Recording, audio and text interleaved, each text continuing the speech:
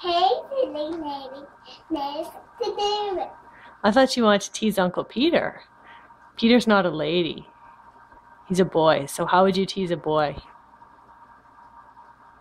Hey, silly, hey, silly Peter, nice to do it.